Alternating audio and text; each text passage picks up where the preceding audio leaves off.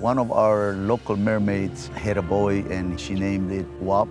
And Wap had this insatiable appetite.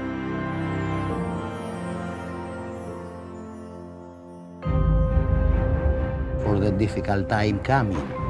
But how much difficult, how much present, I don't know, but the difficult time coming for people.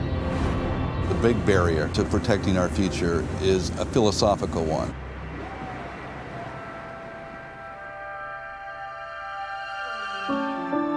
What we see today is a very scarred ecosystem. There's been a big open wound that hasn't really healed very well.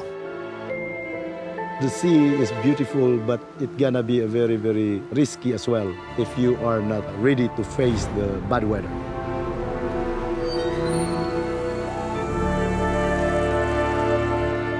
We are still a small portion of humanity trying to fight for our own environment, which we are part of.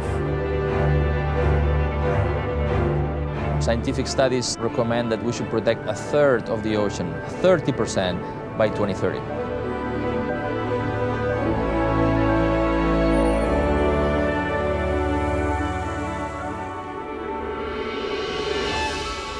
Absolutely need, in a very desperate way, to protect more areas, to have more marine protected areas and sanctuaries in the different seas and oceans of the world. We need to protect the whole Philippines and if possible the whole planet. There's plenty of reason for hope in the face of what seems to be a lot of despair.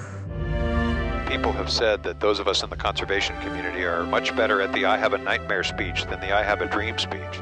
And we need to get better at the I have a dream speech. We're now at the point where we have to have these victories in conservation to say what we did had a positive outcome. I really want to say paradise is without man. Like if we are not there and let nature just take its course and let animals of, all species just live and not being consumed by our insatiable greed, I think paradise happens. I think paradise is already there.